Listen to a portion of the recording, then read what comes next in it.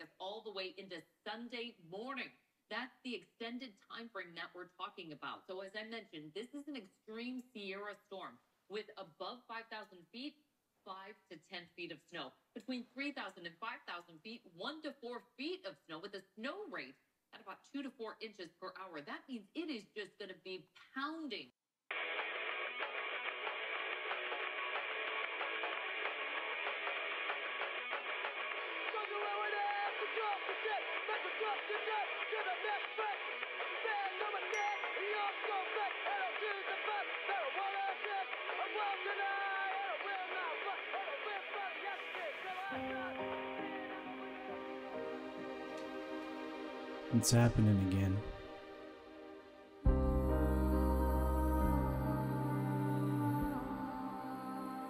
A massive and dangerous winter storm is about to slam the west coast. People living there say they have not seen this much snow in years. More snow on the way. And this is what people are going to have to dig themselves out of. They've dealt with very strong winds that caused some power outages.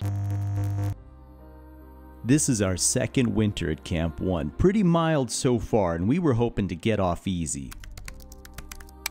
Last year, just six months after our arrival, the local area was hit with the biggest storm anybody had seen in decades. Snow levels were higher than anybody could remember. Roofs were caved in. It was absolute mayhem on the highways, and we had a near miss with Luke when his car lost traction and he tipped off the embankment.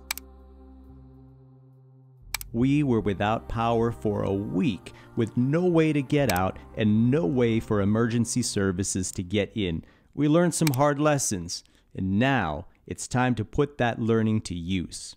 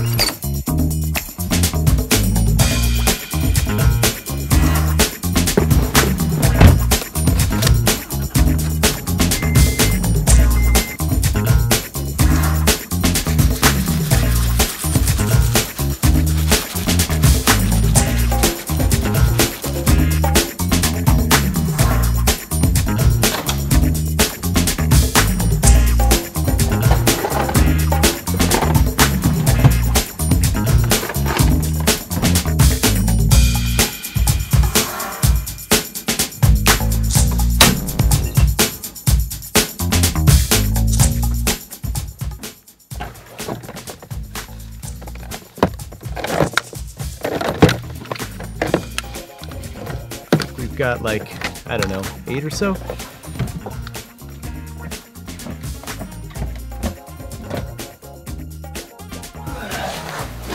I'm just gonna go ahead and see which of these have batteries. You know what, could you just take a look at the fuel tanks? If they're full, just put them on bottom. Mm -hmm.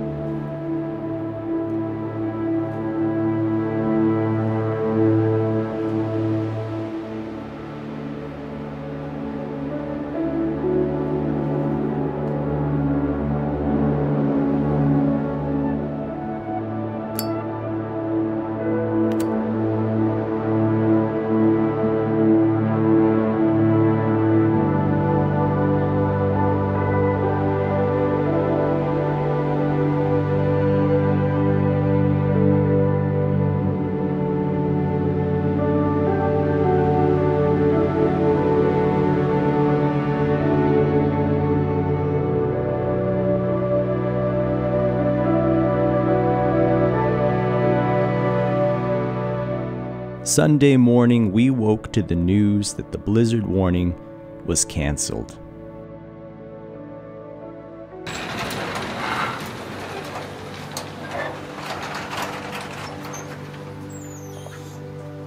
We've still got some wet weather ahead of us, but God willing, it seems the worst may be behind us.